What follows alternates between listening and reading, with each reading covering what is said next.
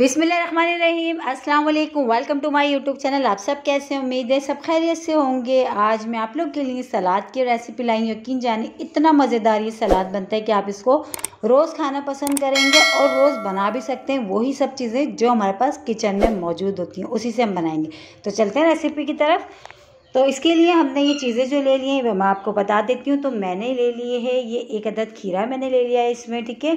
एक हरी मिर्च हमने ले लिए एक छोटा टमाटर हमने ले लिया, दो प्याज ले ली सी।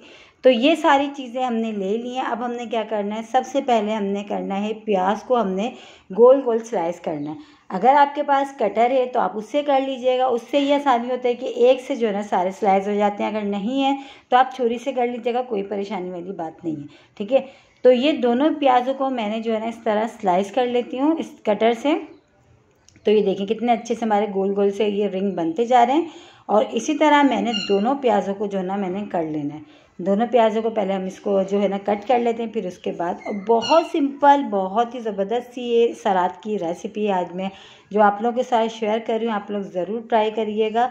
या दावत वगैरह हो तो उसमें आप बनाएँ। बहुत ज़बरदस्त बनता है कि मेहमान भी जो है ना तारीफ़ करेंगे और हर चीज़ के साथ कढ़ाई हो, या बिरयानी हो, या जो भी किस्म के आपने जो डिशेस बनाई उन सब के साथ ये सलाद बिल्कुल परफेक्ट रहता है। तो ये देखिए, दोनों प्याज़ों को मैंने स्लाइस कर लिया था। अब बहुत ही ठंडे से पानी में चिल वाटर में हमने जो है ना, ये जो प्याज को हमने इसमें डाल देना और एक एक रिंग को इस तरह खोल देना है।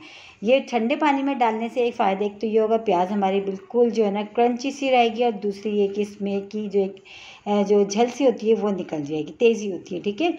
तो बस इस सारी प्याज को हमने इस ठंडे से पानी में हमने इसको डिप करके इसको अभी हम साइड में रख लेते हैं। इसको तकरीबन पाँच मिनट के लिए हम छोड़ेंगे, पाँच मिनट के बाद फिर हम इसको पानी में से निकाल लेंगे, ठीक है? और इसके बाद जो है, इसके उसको हम साइड में कर देते हैं प्याज को और देखें खीरे को और टमाटर को, हरी मिर्चों को भी मैंने कट कर लिया। टमाटर को मैंने थोड़ा सा लंबा लंबा करा है और खीरे को मैंने गोल गोल कट कर लिया, हरी मिर्चों को भी चॉप कर लिया।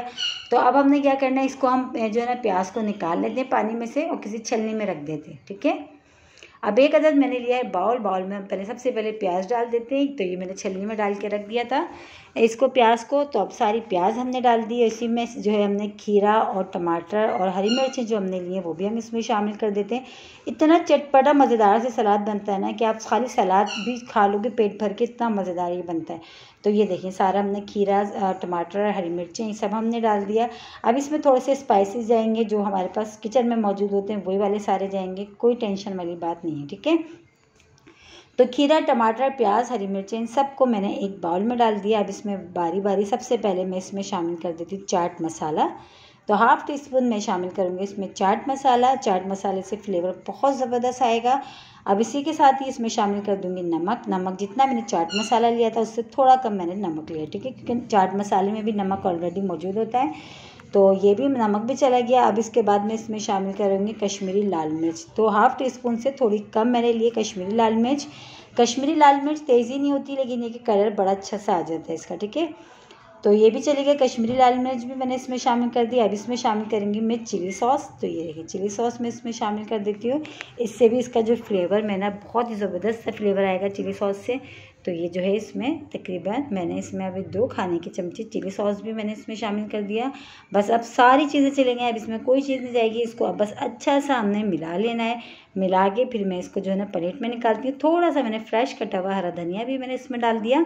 बस ये जो सलाद है ना, हमारा बहुत ही मज़ेदार सा देखिए, रेडी हो गया है।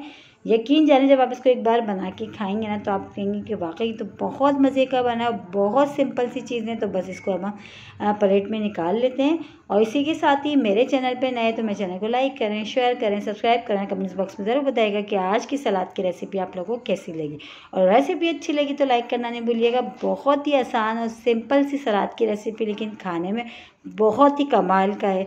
यकीन जाने जब आप इसको एक बार बना के खाएँगे ना तो आप ये तो सलाद रोज़ाना खाना पसंद करेंगे।